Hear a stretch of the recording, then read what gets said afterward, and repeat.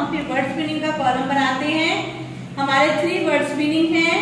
तो ऊपर हेडिंग दीजिए वर्ड्स पहले कॉलम में नंबर टू कॉलम में मीनिंग और तीसरे कॉलम में Urdu meaning okay student ready हो गया आपका में?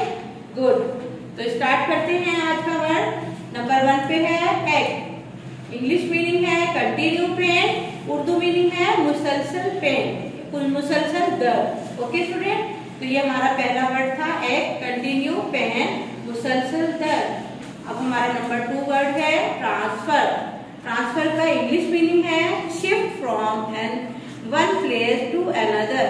ये इसका मीन जरा बड़ा था इसलिए हम इसको टू लाइन में राइट करेंगे।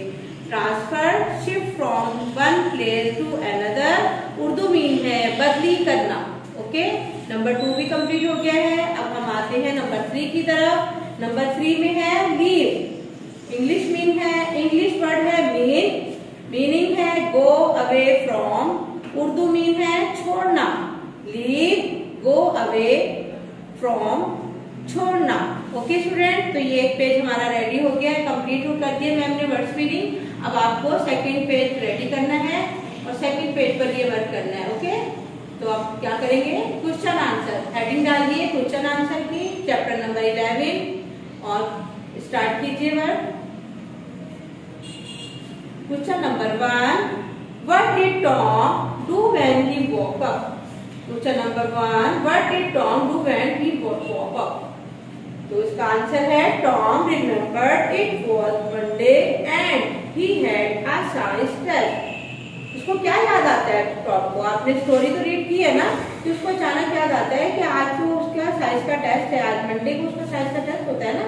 तो उसको एकदम अचानक याद आ जाता है। ओके उसके बाद हम क्वेश्चन नंबर टू पर आते हैं। क्वेश्चन नंबर टू है हमारा what did Tom put on his face and arm Tom ने अपने फेस और आर्म पर क्या पुट किया था? तो इसका आंसर है he drew spots on his face and arm with red ink यानी उसने रेड इंक से रेड मार्कर से अपने फेस पर और आर्म पर स्पॉट से बना दिए थे, ताकि कोई समझे कि वो बीमार है उसको चोट लग चुकी है इसलिए वो। क्या वजह थी करने की? वो टेस्ट नहीं देना चाह रहे थे। तो ये तो हमारे दो क्वेश्चन कंप्लीट हो गए हैं।